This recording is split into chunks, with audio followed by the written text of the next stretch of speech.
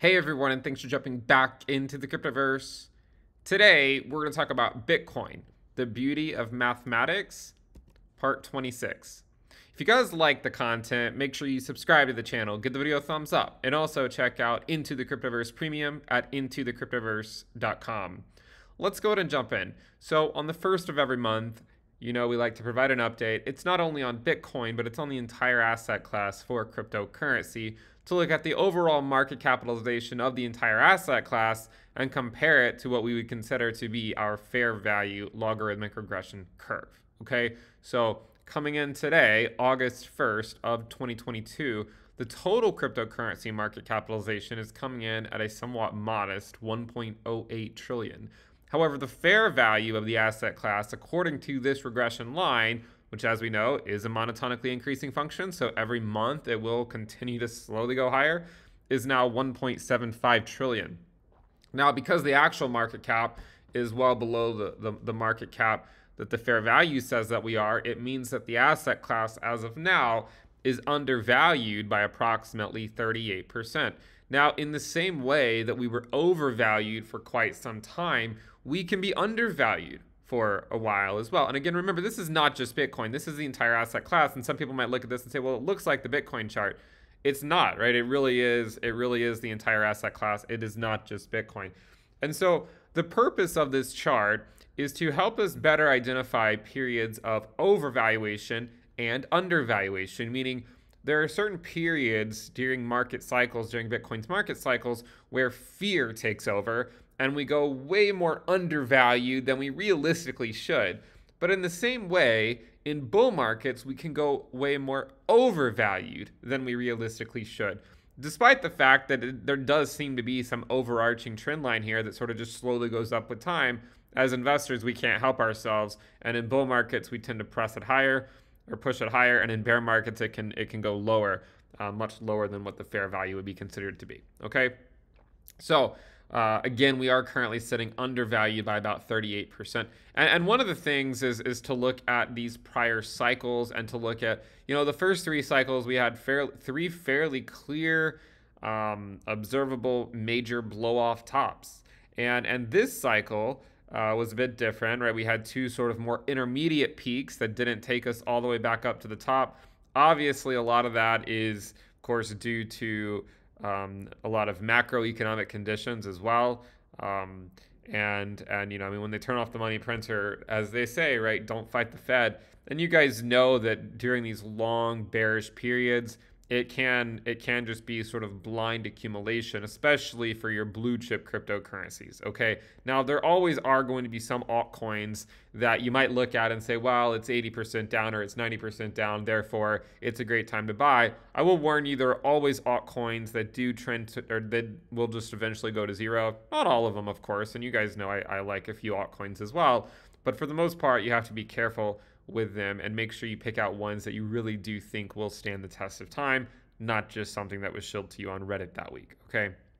Now, one of the things that we like to do is we like to take the percent difference between the actual market capitalization of the asset class and the fair value logarithmic regression trend line, which I will remind you again in this video, and this is an important thing to remember, it is a monotonically increasing function. That means it never goes down, right? It, it only will go up with time, meaning that if the price of the entire asset class, if the market capitalization of the asset class were to stay the same for a year, it would actually mean that we're becoming more and more undervalued as a function of time because our reference point is still going higher.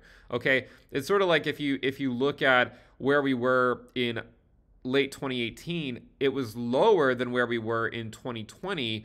However, even though it was lower, the undervaluation in 2020 was much lower uh, than it was in 2018. And the undervaluation in 2020 was more similar to the undervaluation that we saw in 2015, 2016. Okay, now to compare where we currently are, when you take the percent difference between these two curves, you'll see that we're currently coming in again about 38% undervalued, meaning we're below that um, that 100% trend, that 100% line. Again, it's shifted by 100%, so 100% just means it's at the fair value. So if I go back, if the white market capitalization curve here, whenever it crosses the red line, that means it's crossing the red line over here. Okay, so uh, you can see that we're all the way down here at around 38% undervalued. We do know, if history is any indication, that we can go all the way down to about 65 percent undervalued in a bear market, that doesn't necessarily mean that Bitcoin has to go down that much, but it could be some combination of Bitcoin and altcoins. It could also just mean that we have to wait a while for us to become technically undervalued or more undervalued where, than where we are today just because our reference point is going to continue trickling higher. Again, later, you know, later on the fair value will be 2 trillion. And so if we're still sitting at around 1 trillion market cap, that means we're undervalued by 50% even if the entire asset class market cap hasn't actually changed. Okay, so that's sort of the, one of the things you, you should notice when going through these bear markets is that the reference point will continuously change because we assume, or at least I assume, that the asset class does trend higher with time. Now, right now, we are currently, again, 38% undervalued.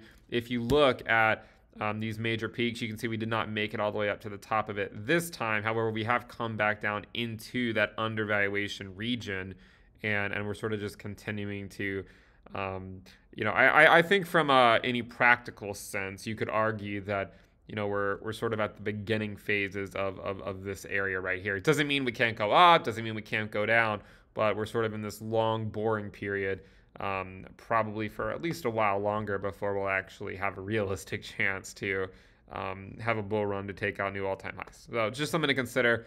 Um, I know a lot of people are constantly wondering, you know, is this it? Is this the move? But I, I think that you know as long as you have a strategy in place, you just continue on with that strategy. Uh, you know, weekly, monthly, whatever it might be, and then eventually we'll we'll go back up. Um, but it could, I mean, it could take some quite some time. I'm not gonna, I'm not gonna, um, you know, give you false hope. And just look at prior times when we come down in this region. It, it tends to take a while before we actually muster up the uh, enough liquidity to to make a sustained move higher.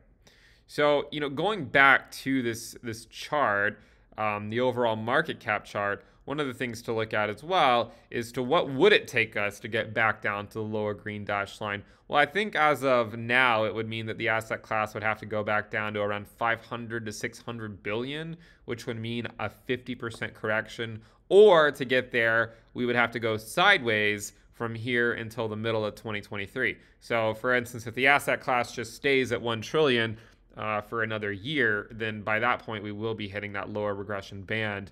Or if we go down to it quicker, it would mean going down to around 500 to 600 billion market capitalization. Okay.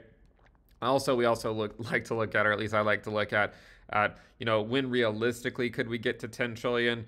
You know, when we started this series back in 2019, the speculation that I always had back then was that it would take at least until 2023, right? Um, the earliest it could happen would have been in, in late 2022. However, under the current market conditions and and uh, landscape that we're currently experiencing right now, I don't really see that happening. Uh, 10 trillion happening this year or next year. I think we. It's going to take a bit longer. We need to um, get back into more favorable market or macroeconomic conditions, meaning hopefully one day the, one day the Fed will pivot when inflation is under control. Hopefully they don't pivot too soon because if they pivot too soon and inflation is still kind of running rampant, um, while you might like the idea of the Fed pivoting, sky high inflation is not going to lead to anything good. Um, so that's where we currently stand. Uh, again, the goal the goal for me, sort of as a as a macro outlook for the entire asset class uh, is to eventually get to that $10 trillion milestone, plus or minus a few trillion, right? As we go to sleep at night, we cannot help but wonder what's a few trillion dollars among friends? Thank you guys for tuning in. Make sure you subscribe. We'll see you next time. Bye.